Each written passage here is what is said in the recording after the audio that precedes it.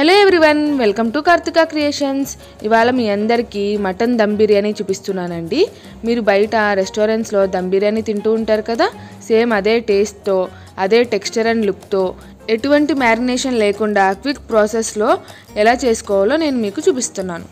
So దీనికి కావాల్సిన ingredients ఏంటో లిస్ట్ అవుట్ చేసేసుకోండి. మనం డైరెక్ట్గా ప్రాసెస్లోకి వెళ్ళిపోదాం.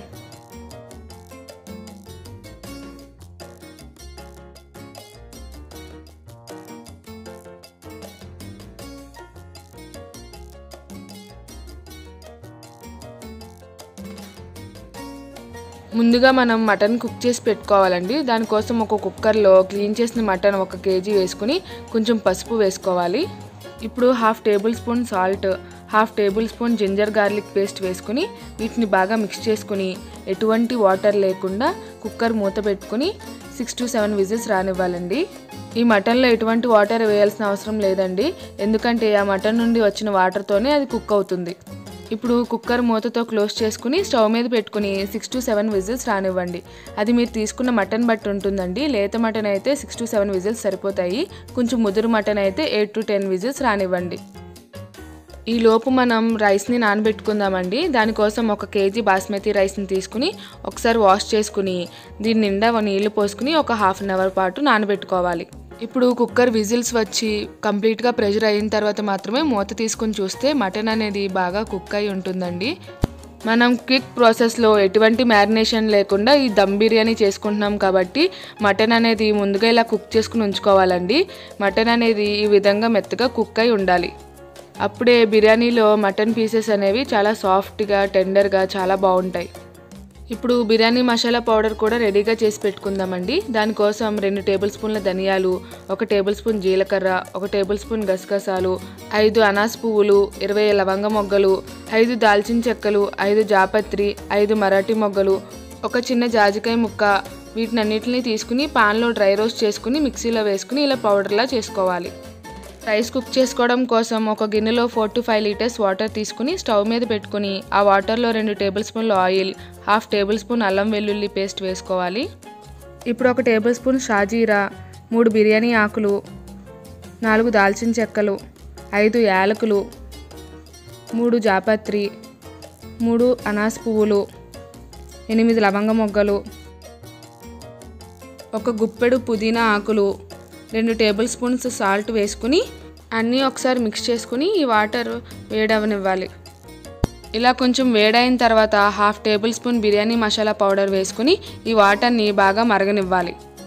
ఈ వాటర్ మరిగేలోపు మనం మటన్ గ్రేవీని రెడీ చేసుకుందామండి. దానికోసం ఒక మందపాటి గిన్నెని తీసుకుని దానిలో కొంచెం నెయ్యి కొంచెం ఆయిల్ వేసుకోవాలి. ఈ ఆయిల్ వేడైన తర్వాత ఒక గుప్పెడు పుదీనా ఆకులను వేసుకుని వాటిని ఫ్రై చేసుకోండి. తర్వాత ఒక టేబుల్ స్పూన్ షాజీరా అండ్ హోల్ బిర్యానీ మసాలా దినుసులు రెండేసి చెప్పున వేసుకుని వీటిని కూడా ఫ్రై చేసుకోండి. ఇవి టూ మినిట్స్ ఫ్రై అయిన తర్వాత సన్నగా చీరికల్లా కట్ చేసి పెట్టుకున్న పది పచ్చిమిర్చిని కూడా వేసుకోవాలి. ఇప్పుడు రెండు టేబుల్ స్పూన్ల అల్లం వెల్లుల్లి పేస్ట్ వేసుకుని ఇది పచ్చివాసన పోయేంత వరకు ఫ్రై చేసుకోవాలి. అల్లం వెల్లుల్లి పేస్ట్ పచ్చివాసన పోయి ఫ్రై అయిన తర్వాత ఒక గుప్పెడు ఫ్రైడ్ ఆనియన్స్ వేసుకుని వీటిని కూడా వన్ మినిట్ ఫ్రై చేసుకోండి. ఈ ఫ్రైడ్ ఆనియన్స్ అనేవి చాలా ఇంపార్టెంట్ అండి. ఇవే బిర్యానీకి మంచి టేస్ట్ని ఇస్తాయి. ఇప్పుడు దీంట్లో ఒక పావు లీటర్ పెరుగుని వేసుకుని దీన్ని కూడా బాగా కుక్ చేసుకోవాలండి. ఇప్పుడు దీనిలో కొంచెం పసుపు వేసుకుని పెరుగులో వాటర్ ఎగిరి కొంచెం దగ్గరికి అయ్యేంత వరకు పెరుగుని బాగా కుక్ చేసుకోవాలి. ఇలా పెరుగు మొత్తం బాగా కుక్ అయిన తర్వాత మనం కుక్ చేసుకున్న మటన్ని వాటర్తో సహా దీనిలో వేసుకోవాలండి. ఇలా వేసుకున్న తర్వాత రెండు టేబుల్ స్పూన్ల కారం రెండు టేబుల్ స్పూన్ల biryani masala powder and salt మీ టేస్ట్కి తగ్గట్టుగా అడ్జస్ట్ చేసుకోండి. నాకు ఇక్కడ one and half tablespoon పట్టింది. ఇప్పుడు వీటిని అన్నిటిని బాగా మిక్స్ చేసుకుని కలుపుకొని మూత పెట్టుకుని వాటర్ ఎగిరి గ్రేవీ దగ్గరికి అయ్యేంత వరకు కుక్ చేసుకోవాలండి. ఇప్పుడు మనం వాటర్ చూద్దామండి. ఇలా వాటర్ బాగా మరుగుతున్నప్పుడు మనం నానబెట్టుకున్న ఒక కేజీ బాస్మతి రైస్ని దీనిలో వేసుకోవాలి. ఇలా వేసుకుని రైస్ని కుక్ చేసుకోవాలి. ఇప్పుడు గ్రేవీ మూత తీసి చూస్తే గ్రేవీ దగ్గరికి పడి ఉంటుందండి. ఇంకా ఫైనల్గా కొంచెం కొత్తిమీర వేసుకుని మనం వాటర్లో వేసుకున్న బాస్మతి రైస్ ఒక ఫిఫ్టీ పర్సెంట్ కుక్ అయిన తర్వాత ఒక ఫస్ట్ లేయర్ కింద వేసుకోవాలి. ఫిఫ్టీ పర్సెంట్ అంటే రైస్ని విరిచినప్పుడు రెండు ముక్కలు అవుతుంది అలా అయినప్పుడు ఫిఫ్టీ పర్సెంట్ కుక్ అయినట్టు.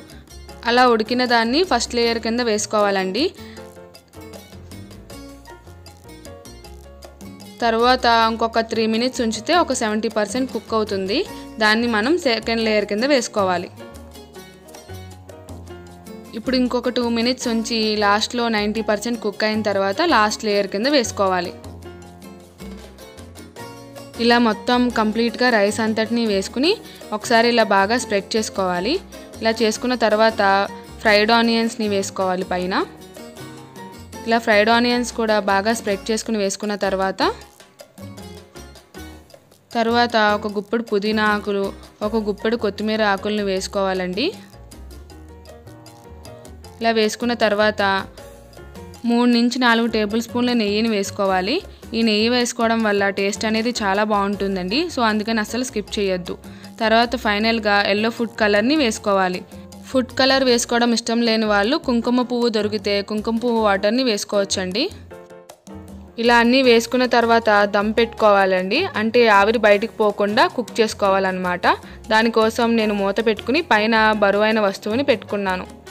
మీరు మైదాపిండిని గిన్నె చుట్టూ పెట్టుకుని మూత పెట్టుకుని కూడా సీల్ చేసుకోవచ్చండి. నేను ఇలా ఈజీగా ఉంటుందని ఇలా చేశాను. ఎలాగైనా కానీ ఆవిరి బయటకు పోకుండా కంప్లీట్గా కవర్ చేసుకోవాలండి.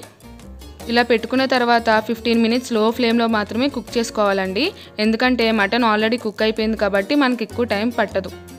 ఇలా చేసుకోవడం వలన మటన్ దమ్ బిర్యానీ అనేది ఈజీగా రెడీ అవుతుందండి. ఎటువంటి మ్యారినేషన్ లేకుండా మటన్ బాగా మెత్తగా కుక్ అయ్యి దమ్ బిర్యానీ టేస్ట్ చాలా బాగుంటుంది. ఈ ప్రాసెస్ అప్పటికప్పుడు చేసుకోవాలనే వాళ్ళకి చాలా బాగా యూజ్ అవుతుందండి. ఇలా ఫిఫ్టీన్ మినిట్స్ అయిన తర్వాత మూత తీసి చూస్తే చూసారా బిర్యానీ అనేది ఎంత బాగా కుక్ అయిపోయి ఉందో? అండ్ రైస్ కూడా ఎటువంటి పలుకు లేకుండా ఉంది చూడండి. ఇప్పుడు మీకు రైస్ తీసి చూపిస్తానండి. ఎంత పొడి పొడిగా ఉందో అనేది. చూడండి ఎంత పొడి పొడిగా ఉందో.